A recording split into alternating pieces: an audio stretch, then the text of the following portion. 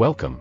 Let's start by dragging down a picture background, right-click to crop to fit then extend to 11 seconds since I am just using 4 pictures for this tutorial. Next, go up to drag down an image, then extend it to match accordingly.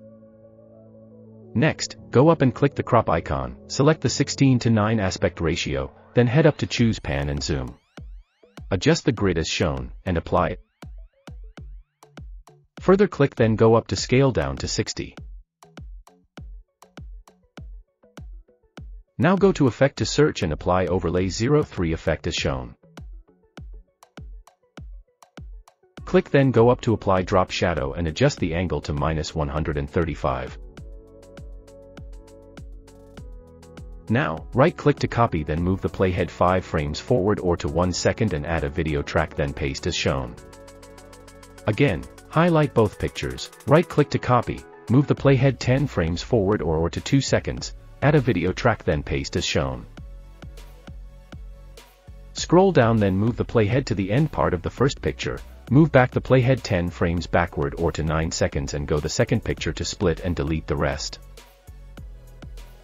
Again move the playhead 10 frames backward or to 7 seconds then go to the third picture to split and delete as shown. For the last picture, move the playhead again 10 frames backward or to 5 seconds then split and delete.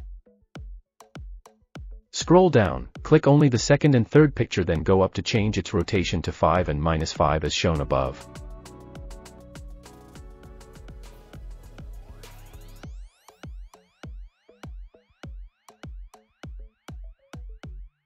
Further go to media then press and hold the Alt key as you drag down another pictures to replace the ones on the timeline. Click the first picture, then go up to select animation then choose preset motions and scroll down to spin. Choose spin 1 for the first picture, spin 2 for the second picture, spin 3 for the third picture and spin 4 for the last picture as shown.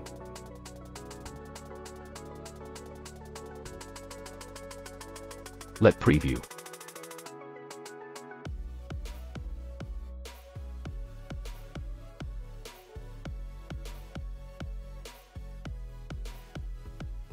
Now add a video track then go up to effect to search for narrow effect then drag down above and extend as shown.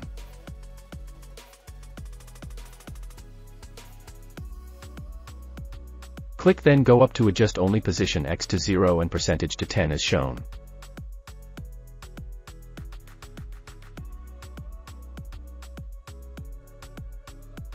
Lastly go back to Effect to search and drag down Zine Pack Overlay 01 then extend as shown.